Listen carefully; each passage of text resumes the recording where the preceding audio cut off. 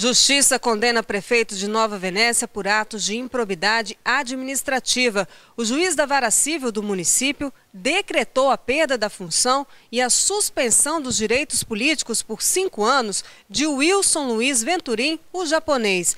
Ele ainda vai ter que pagar uma multa referente a 40 vezes a remuneração que recebe e não vai poder contratar com o poder público durante três anos. O magistrado acatou uma denúncia feita pelo Ministério Público que apontava irregularidades em uma doação de um terreno do prefeito para uma empresa particular.